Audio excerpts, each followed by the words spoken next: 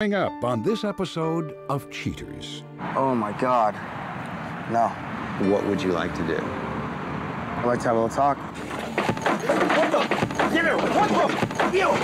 David! David! Hey, hey, hey! Chill. From Cheaters surveillance cameras, you are about to view actual true stories filmed live, documenting the pain of a spouse or lover caused by infidelity. This program is both dedicated to the faithful and presented to the false hearted to encourage their renewal of temperance and virtue. Just like he's just trying to keep a big secret from me. I just can't go on anymore. I need to know the truth. I don't like being the one that has to show you this. Oh, Jesus. I asked her about him, and she said nothing was going on. Do you want to confront him? Oh, yeah. Take me there. Yeah, I got him. Hey, go. Go. Get down, get down. Stop! Whoa, whoa. This is like not how this is supposed Whatever, to work, just John. go. Go with him. I love you. I'm so sorry. Real reality television is brought to you by Cheaters Detective Agency's Private Eyes on Cheaters. Hello, I'm Joey Greco. Thank you for tuning in to another installment of Cheaters. In this case, meet David Hendrick, a studious young man experiencing mixed emotions about being away from his girlfriend after his transfer to another college. Unable to keep tabs on his girl's activities, David brings in cheaters to ease his concern. David Hendrick, age 21, a worried student whose girlfriend may be taking advantage of his time away at another school. I met Megan about two years ago uh, through a mutual friend.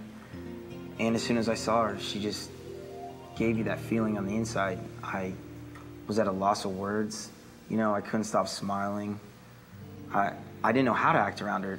Unfortunately, I had to transfer schools, so uh, now we're not, we don't see each other on a regular basis. And uh, since that happened, she's just started to act not as, not like she used to. She, she's a lot more like ready. Like when I call her, for instance, she'll want to get off the phone quickly. Like she's not always excited to hear from me. It just makes me worry. Like I'll ask her, I'll be like, is, am I doing something wrong? Or, you know, like, is it me? Is there something wrong with, do you not like something that's going on in the relationship? And she says, you know, she's like, no, I love you. Everything's great. There's no problems there, but I know there is something going on because it's not the same Megan. If Megan was cheating on me, I would be destroyed. My, my whole life would be changed, you know, it'd be flipped upside down. I would, I wouldn't know who to trust anymore, you know. I, Megan, I trust her with anything I trust her with my life, but I would just be devastated. You know, like when I look at my future, I see her by my side, you know. I want to, I want to marry this girl. She's, she's my girl. If you suspect infidelity in your relationship, Cheaters licensed investigators may be able to provide you assistance. Exercise your right to be informed.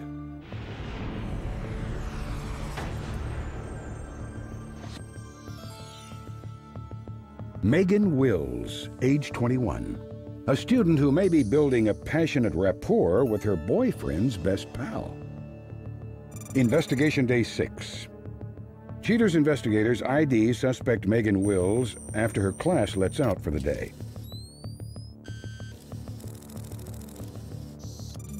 She heads down the sidewalk and is surprised by an unknown man hiding in the bushes. After close scrutiny, inspectors discover that the young man is none other than David's good friend, Josh Lovjak. The two walk hand in hand to her dorm room, which is just around the corner, and the couple is not seen for a good hour or so. Finally, Lovjak comes out of the dorm room, chewing gum and looking quite gratified. Investigation Day 8. Cheaters agents remain inconspicuous outside suspect Wills' classroom. The dejected suspect slowly descends the stairs and goes straight into the muscular arms of her personal bodyguard. She appears to be in great need of a hug as she holds on to him, reluctant to let go. Suspect Wills then takes a piece of paper from her backpack and thrashes it about as if upset by its contents. Lovjak grabs the paper, crumples it up, and shoots for two. The couple depart the vicinity, which allows Cheater's PIs to take a peek at the contents of the mysterious sheet of paper. The paper reveals a failing score on an important test. Within minutes, the two get into his SUV and are off to an unknown destination. She instructs Lovjak to go to the nearest liquor store to buy some shinny. Stiffing people seems to be the suspect's proven talent, as confirmed in a recorded phone call.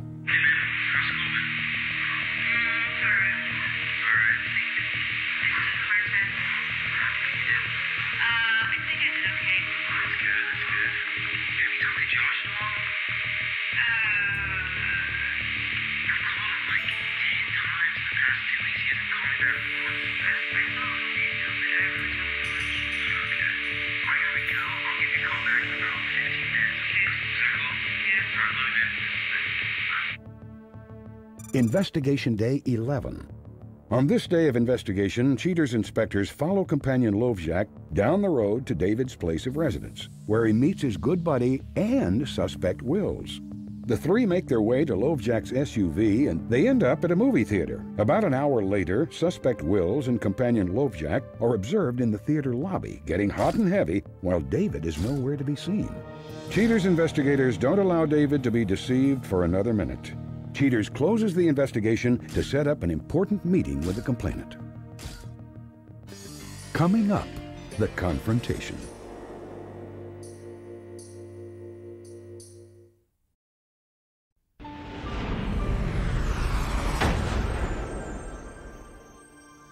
Now that there's no second guessing what truly belies this relationship, Cheaters outlines the specifics for David in a specially prepared report. Hopeful of resolving the matter quickly and efficiently, David steps forward to put an end to any and all of Wills' transgressions. David, thanks for meeting us on short notice. We're here tonight because our detectives have some information they wanted you to see. Okay, Are you ready to take a look at some of that now? let's do it.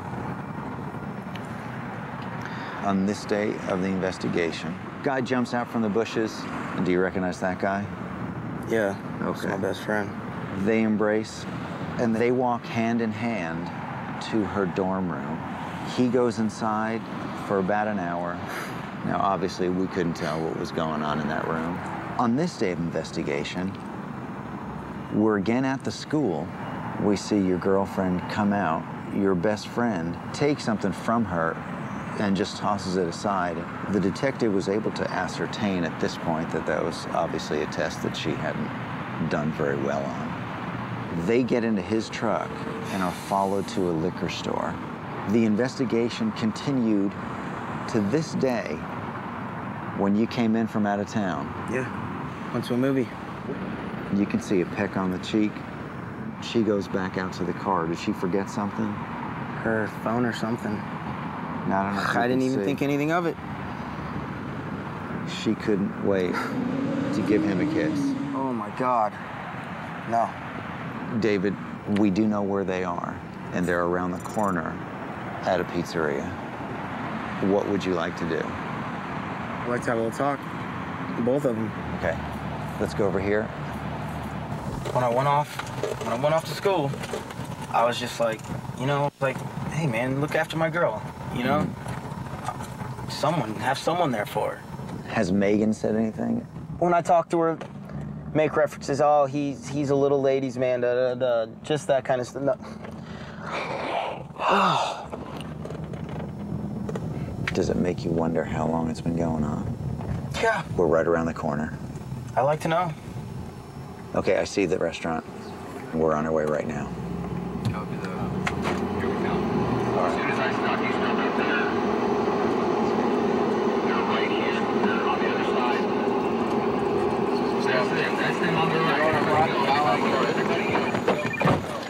What the f- man? David, What the? Here, what the? No. No, man. about to. No, talk to me. No, God. We're just eating dinner. Who the are these people? Get the f- off me. What the f- is this? David. Oh. Man, Stop. Ow.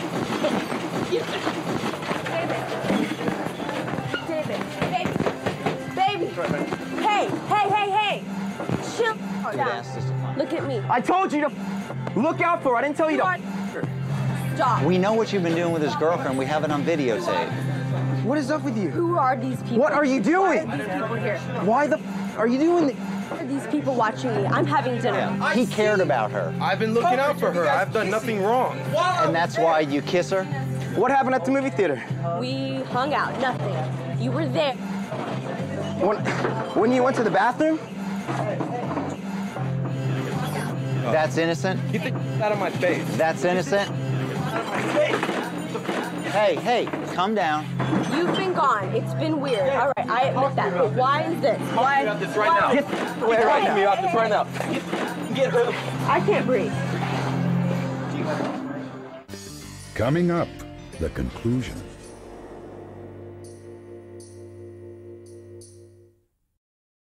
Oh. Get away right Get me now. off this right now. Get, get her. I can't breathe. You alright? Where's her Where's her breather? I don't have it. It's in my. It's in my car. This is ridiculous. He's getting the inhaler. Do you have an explanation for what you've been? There's not an have you been doing? explanation. Nothing is going on. Josh and I are friends. This is my boyfriend. Uh huh. And is that why? Is that why you told him tonight you're going to be out with your girlfriends? Yes. You alright? Dude, get out of here. Guys, no. talk Get out of here. For real, we've been friends since we were like two. Stop. You've got Well, to that's get why it doesn't grip. make any sense, Get does a grip. Josh, what made you think it was okay to start a relationship with I his didn't start a girlfriend? relationship with her. She started This it with is you. different. How is it different? Not. What the? He is my best friend. I know. I'm sorry, baby. I'm so sorry, baby. He's My best friend. I love you. I know. I'm sorry. Okay.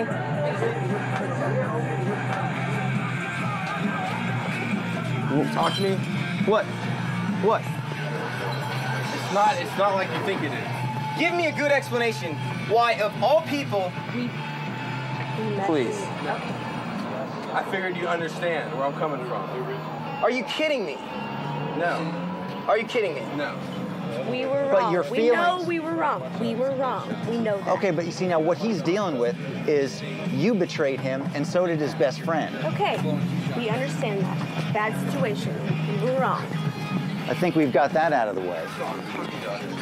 No, get the hand off me. Guys, hey, security, stay Stand close to them. Talk to me about this. Get off me. Just don't Talk touch to me about this. Don't touch me. Why, dog? Why? You know I'd never mean to hurt you like that. Then why? Why her? We go somewhere else. This is retarded. We need to get out of here. This is stupid. Get a grip. Get a grip. I don't feel good. I need to get out of here. I don't even know what to say to you guys. I need to just walk.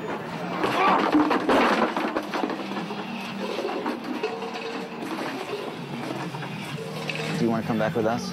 Yes. All right. I want to get out of here. Hang on. David. You all right? Do you want to give her a ride back? Yeah. Okay. Come on.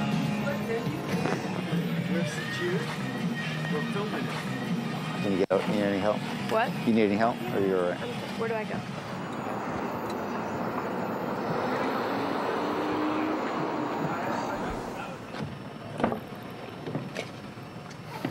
All right, guys.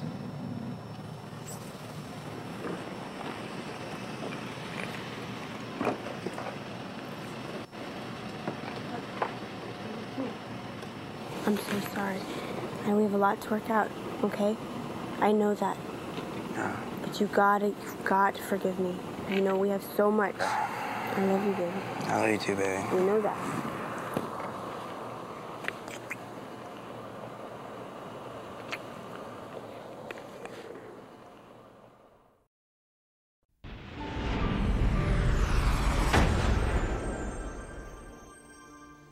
After the confrontation, David reveals that he'll need to better understand the situation before making any further decisions. At the end of the show, Cheaters discloses his final choice in this life altering event. But next, Cheaters presents Marcy McRae, a stern individual who does not hold back when expressing her opinions concerning the John Chapin case. Marcy McRae, age 29. Marcy gives her take as a participant in the John Chapin case and offers cheaters a little piece of her mind. When the crew first came up on us, I had absolutely no crew, clue what was even happening. I mean, it just completely caught me off guard and infuriated me, and, you know, I had just absolutely no idea what was happening. They're in the car. All right, we're here. All right, let me come get you. Come on, John. What the f- is this? Then I see John standing there, and I did nothing more than want to slap the shit out of him for even dragging me out like that. I mean, and Joey, what the hell is that all about? I mean, who's this guy to get in my face and question my morality and everything else? That little bitch can kiss my ass. Marcy, Uh, yeah? could you explain to John what you're doing in, in the parking lot? Explain to John what you're doing yeah, in the parking easily. lot. You, dude. What This is that mother? How old are you? 50?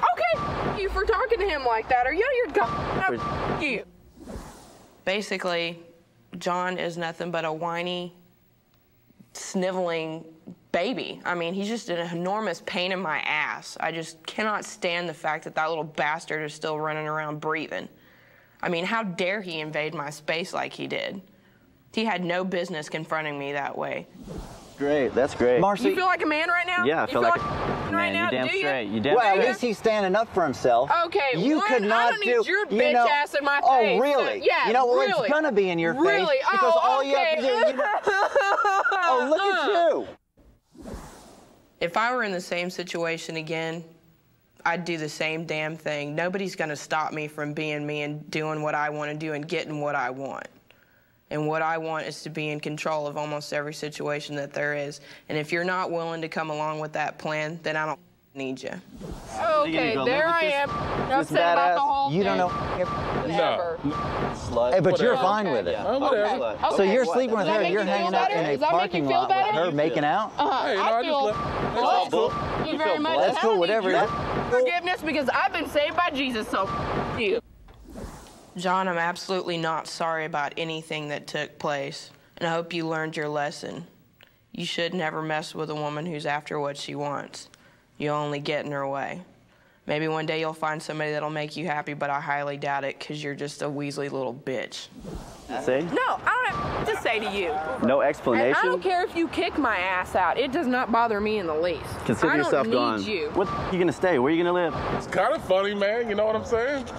You shut Is- the f- up. Say, I'm just here. You're just That's as much a part of it as She's he is. playing you and she's playing him. Hey, that's fine. All I really want to say is, is I'm not sorry for what I did. I have absolutely no remorse about being caught. I'm not even bothered by the fact that I got caught. In fact, I think it was a good thing. It had to show everybody what was really going on. And like I said, John is not the most innocent person on the planet. So I did what I had to do. So everybody, take heed. For more information on these and other cases, log on to cheaters.com. After the confrontation, David Hendrick supplied Cheaters with some information about his girlfriend that could help explain her execrable actions. David says that Megan, through no fault of her own, suffers from an addiction to sex, resulting from a complete lack of love and support from her neglectful father. Still, David is not sure if he can excuse her poor behavior since he's a big believer in not transferring childhood problems into adulthood. When asked about companion Lovjak, David angrily replied, I do not want to talk about him, and I will never be friends with a guy who's willing to backstab a buddy. Megan Wills confirms that she and David can get over this and will eventually move on as boyfriend and girlfriend. She states that David is understandably very upset. She will allow him the space he needs to recover. She says that David will undoubtedly be back in her life in the near future. For his part, Josh Lovjak says that he hopes David can forgive him and knows now that you just don't mess around with a good buddy's girlfriend. He emphatically states that he will no longer be seeing Miss Wills and hopes that his friendship with David will resume one day.